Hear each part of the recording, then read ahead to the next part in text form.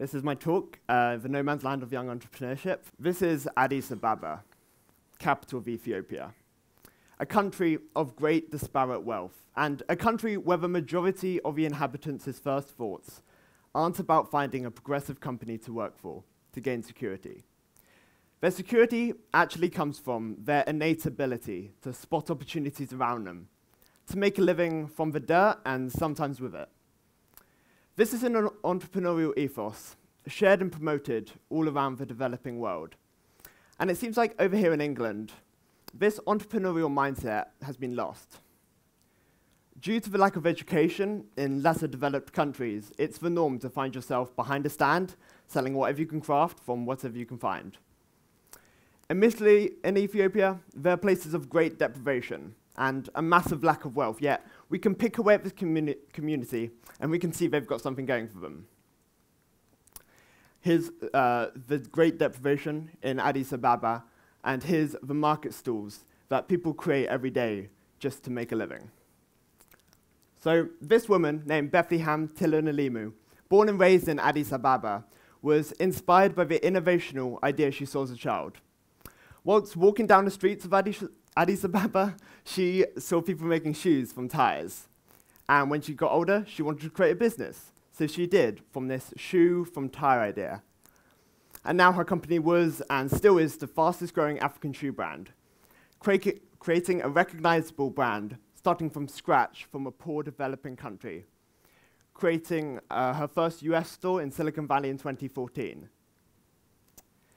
Without the small market stalls, businesses, and shops surrounding her from such a young age, this keen eye for innovation and entrepreneurship would most likely not be present.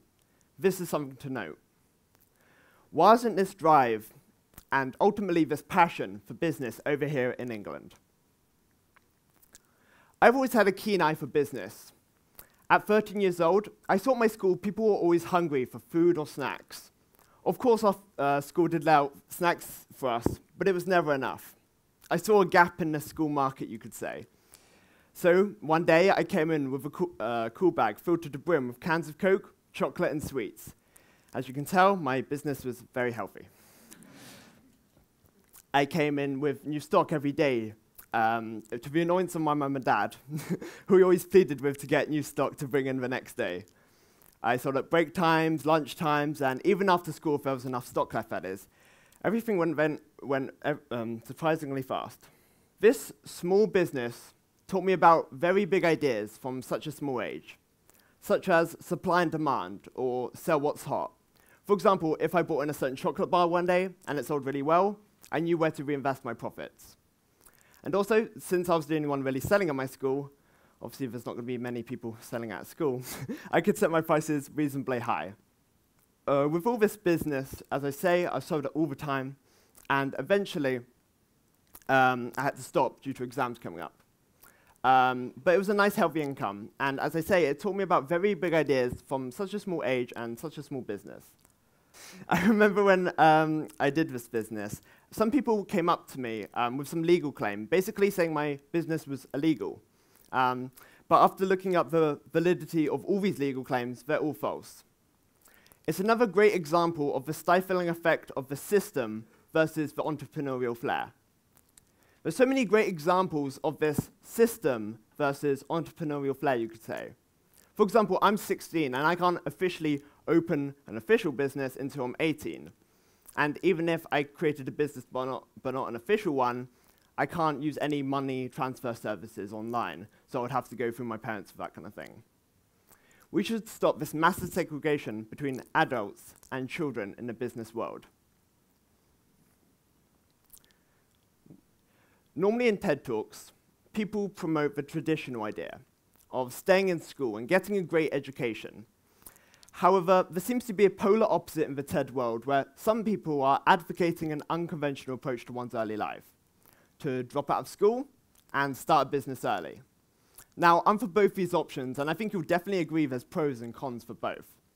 However, I think there's a middle ground, a no man's land where I think some people are just too scared to visit, where you can both have a great education and run a successful business. Now, I'm not saying this is easy, as I've learned over the past year or so. However, with enough determination and a drive for this innovation and this entrepreneurship, then it's entirely possible. In fact, it becomes easier after a while. Also, I'm not saying you have to make a million pound making, employing hundreds of people business before you leave school. No, in fact, I'm saying the opposite. I'm saying you can have a small business to teach you the ropes, how to manage people, how to talk appropriately with clients, also how to do social media promotion, marketing. All these key skills we could be taught at such a younger age. I'm now 16, and I own a business that works within the popular indie game Minecraft. Let me explain, because a business that works within a game which is ultimately a business itself seems like a very odd concept, which, to be honest, it really is. So, our name is Team Veyron, and to put it in the literalist, simplest terms possible, we place blocks in a game. But startling as it may seem, placing blocks in the game can get you quite lucrative and awesome experiences and creations. Um, so since our second era, uh, which basically happened in May 2015, I took over the business from the previous owner. We've gained popularity, becoming one of the biggest, most successful build teams in the, in the game itself. An astonishing feat, maybe not if you don't work within the game, but a term I hope you'll all know is YouTube. We've worked with some of the biggest YouTubers on the platform itself, working with people having as many as four or five million, million subscribers. But it's just a game for us. It's just how everything we do starts. Our university degrees once finger painting in preschool. Our tax bills were once just our times tables. Everything has a small, fun beginning. We started as simply as people who just liked playing the game Minecraft, and naturally we delved into the building side of it. I, for one, started building for my favorite servers in exchange for a rank on there. Basically, an in-game exchange with no real monetary value. From there, I started building for servers for small amounts of income. And from there, I started our own team, Veyron. And now, we're making enough money where we don't really need to look for part-time jobs at our ages. People will tell you to go into a field you're either passionate about or there's a free slot in the market. But other people will tell you to go into a field you didn't even know was there. Delve into a market you didn't even know there was money-making possibilities. And that was definitely the case with me and my brand. But saying that, whatever your passion is, whether it's gaming, graphic design, knitting, the possibilities are literally infinite. And by passionate, I mean greatly interested in, not an expert. I speak from experience where you don't need to know everything from day one. You research, you get employees, you get families and friends to help you. Try and employ people who are better than you. Because, for example, I'm by no means the best builder in my team, or block placer. Um, you should employ people who are better than you at the certain skill sets you're looking for. So, but, but really, the passion at this age should be in yourself. Sure, the business is important, but it's not like I'm going to be running a Minecraft build team by the time I'm 20 or 30, at least for me. It's just a learning curve. A learning curve I think all young aspiring entrepreneurs should be doing. So far, the learns I've um, learned have been key, such as social media promotion. So back in May 2015, when I first took over the business, as I say, we had uh, 7,000 tweet impressions that month. So the next month of my ownership, we quintupled that, making our overall tweet impressions 35,000. And now, I'm not saying this is solely down to me. However, some advertising we got with some YouTubers, getting some graphic work and a render team really helped us. Overall advertising and presentation I've learned are the key ways to getting a brand and an image bigger. So after all this behind the scenes work over the past few months, we're now gaining over 200,000 tweet impressions. Also, you might have heard me say render team. This is a group of artists who use a tool called Cinema 4D, basically to render our Minecraft builds. So here's an in-game screenshot of just a normal uh, vanilla Minecraft build. And here's a render of the same build. Basically, it improves the presentation and, as I say, really helps getting our name out there. I also advise to go into business class. The first time I went into business class, it was after I uh, owned my two businesses, including my sweet shop.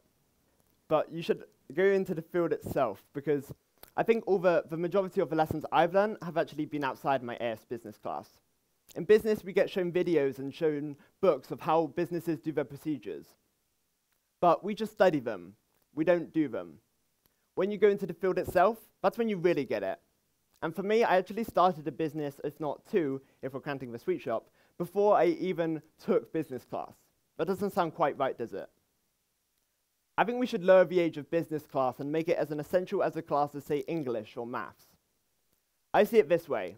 English is how we communicate, and maths is how we solve problems, but business? Business is how we all make a living, and it's how we create and design ideas for the world to enjoy. It should be and is essential to us all. How about we first start learning business when we first get into school, splitting little four-year-olds into groups and let them negotiate and start market stalls with each other. All these um, skills we could be taught at such a younger age. We need to be exposed to things to have the opportunity of pursuing them in the future. For example, I always hated English. I always hated writing essays I didn't really care about, and when I did care about them, I never even knew how to write the essays themselves or structure them.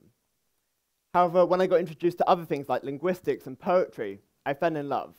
This could be the same with business. There could have been thousands, if not tens or hundreds of thousands of potential entrepreneurs walk in and out of our school doors and they never even got introduced to the notion of business. We should change that. It seems like I've only been talking about um, how it's useful to have a business now if you want to have one in the future. But business is just the building blocks. And no, not the building blocks in Minecraft, but the building blocks to life. Management skills will help me in nearly any job out there. Design will help me have a keen eye for art and beauty in the future. Dealing with clients and setting up payments, down payments, quotes, and invoices will help me with any financial based job I do. And also, negotiating with clients will help me with negotiations in and outside of later life.